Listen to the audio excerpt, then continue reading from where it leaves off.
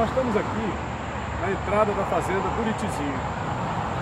E o nosso propósito contar a história, lógico, da fazenda, que a fazenda Buritizinho era uma potência na agroindústria naquele tempo.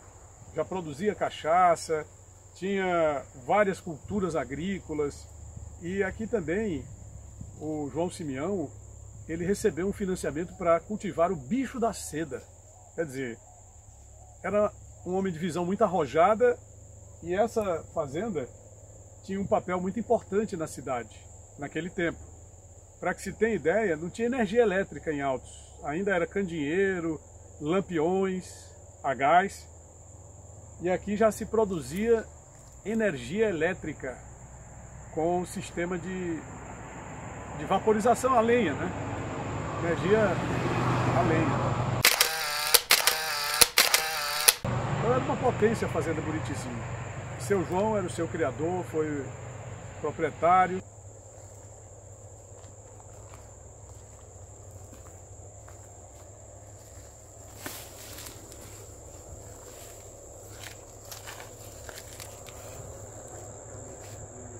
Queria é, fazer esse registro hoje.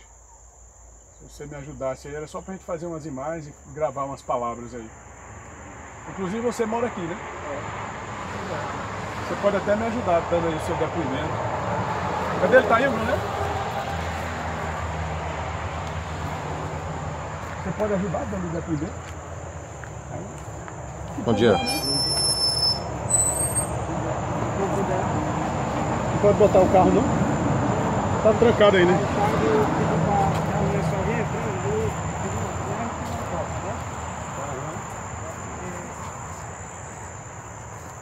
Não tá.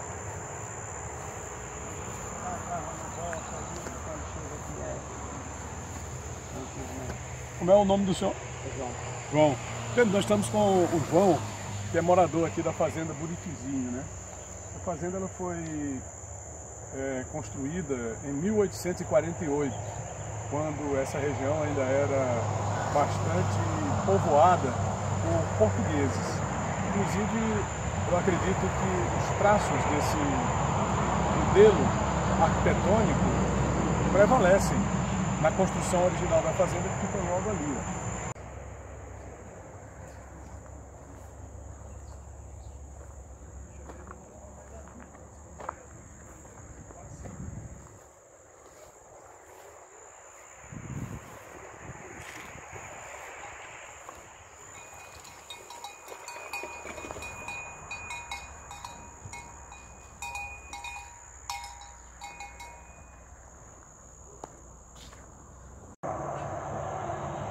Ó.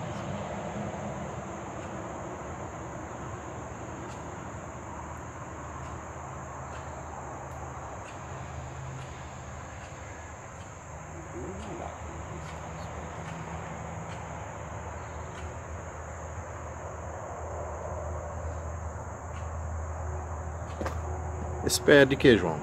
Qual? Esse? Tamarina. Certo. Tem quanto tempo já? Rapaz, aí tem mais de 100 anos. Esse tamarina aí.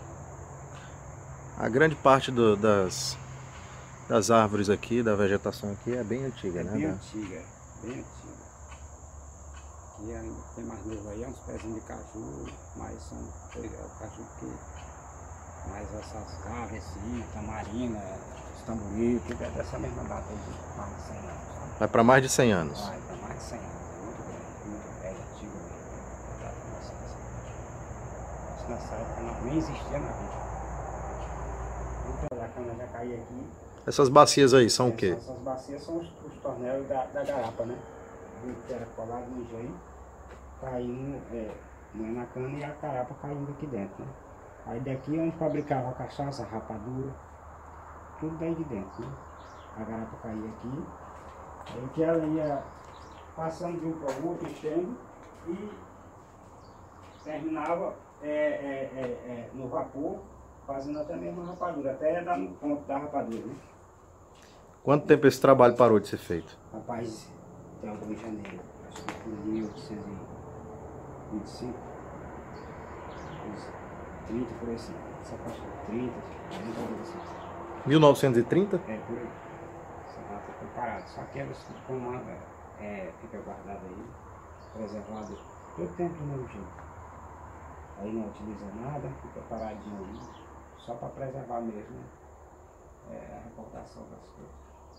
Mas ela nesse ponto ainda dá ainda para funcionar. Se botar para funcionar, funciona. Tá normal, né? Porque esse material aqui não são esse material de ferrinho, é tipo assim, né?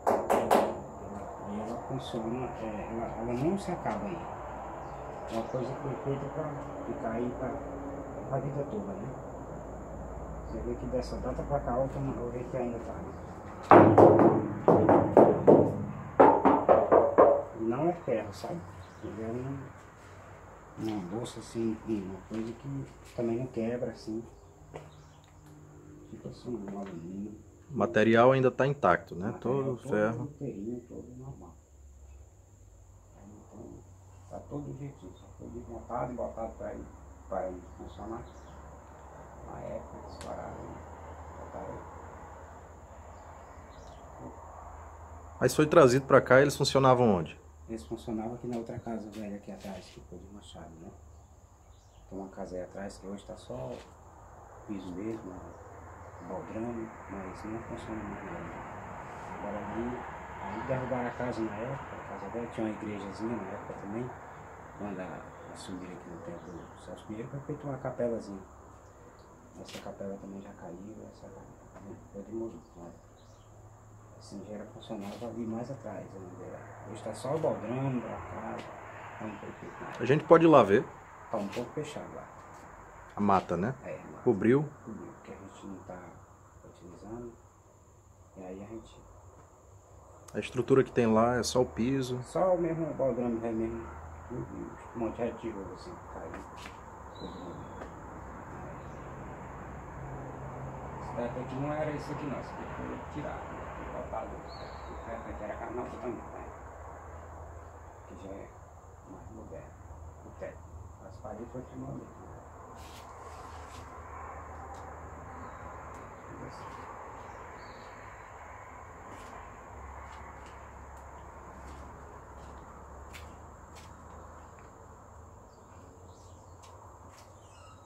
Dia muito em janeiro, nós tínhamos também minhoca. E Certo. moicana, né? Aí Sim. pra tirar a garapa, olha o tamanho. Vamos lá então, vamos ver a, engen a, engenhoca lá. Pode passar, Pedro. Pedro, aí aqui também tem esse. Olha aqui, esse banco. Esse banco é um banco que é estilizado, né? Pronto. Aí você tem a história também da. Tem mais de 50 anos nesse lugar. né? Mais de 50 anos, né? Está aqui há mais de 50 anos. E aí você tem contado mais ou menos a história da nossa colonização que foi feita através do gado, né? Tem a, a- a imagem do boi e tem também a imagem do cavalo, que era um, um inseparável companheiro dos vaqueiros, primeiros colonizadores aqui do território piauiense. Agora já tem também alguns elementos de modernidade, Pedro. Tem aquele ar-condicionado, tá vendo? Esse- essa- esses balaústres aí, João, eles são originais? Esses são originais. São originais, né? Esse- Não, ele só foi mandado arrumar para ver se. para conservar, né? Certo. Mas é, são originais. Tudo original da fazenda. Lá de 1848. É, esses são originais de hoje. Então, Quando a gente anda aqui, uma das coisas que era muito utilizada naquele tempo para o piso, né? Olha, esse piso aqui é é tipo um tijolo, né? É um ladrilho. É um ladrilho. Mas o material usado é o mesmo que se usa para a fabricação daquele tijolo comum que chama. naquela época era, feito aqui mesmo, isso aí. Tudo Ali foi produzido aqui, Foi produzido aqui naquela hora aí, ali, que tem onde hoje é uma açude, né? certo? Na região da Tranqueira. Onde aí, né? Ah, aqui mesmo na própria fazenda? É, bem aqui dentro, onde fazia o tijolo, esse tijolo foi feito ali, né? Hoje é uma açude, né? Bacana, muita água. Porque conseguiu juntar água e não dá mais pro pessoal, não, cara, tudo manual, né? Uhum. E aí esse ladrilho foi feito aí também, você vê que é todo artesanal. Não tem nada de ouro, contar o que dá ali, né? Assim. Vamos lá na frente? Na época também, dessa mesma data, tem isso aí que tem Rio de Janeiro. Isso aqui é, é o quê? Uma plantadeira. É uma plantadeira.